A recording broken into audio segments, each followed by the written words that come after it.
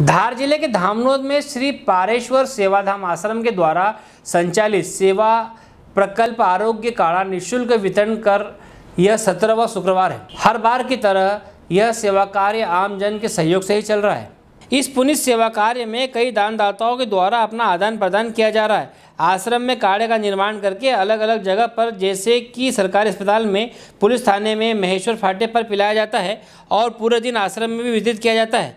यह आरोग्य काढ़ा शरीर के रोग प्रतिरोधक क्षमता को बढ़ाने और कोरोना से बचाने वाला है। इस काढ़े के निर्माण में 15 से 16 प्रकार की औषधियों को मिलाकर बनाया जाता है।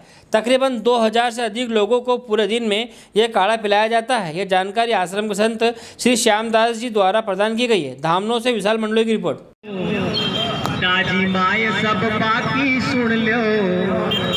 आई गई जी कोरोना महामारी।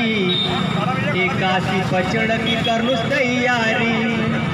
सब सिकायणो घर में सब सिकायणो घर मज रहणो आई वैने कुदणो फांदणो।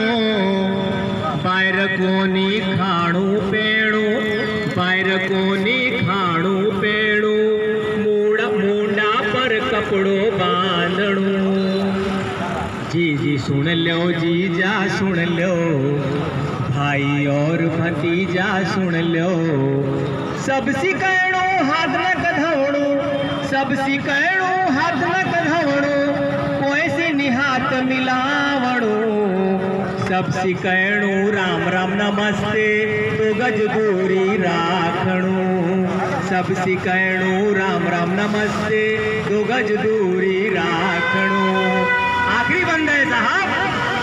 तेराणी सुन लो जेठानी सुन लो सासू और बहू सुन लो तेराणी सुन लो जेठानी सुन लो सासू और बहू सुन लो सब सिकायणो कायदा में सब सिकायणो कायदा में सब सिकायणो कायदा में शासन की बात मान लो।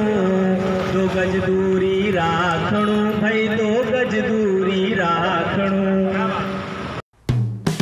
हेलो फ्रेंड्स आप देख रहे हैं हमारा channel S W twenty four news हमारे सारे वीडियो सबसे पहले देखने के लिए आप हमारे चैनल को सब्सक्राइब करें और पास में लगे बेल आइकन को दबाना बिल्कुल भी ना भूलें।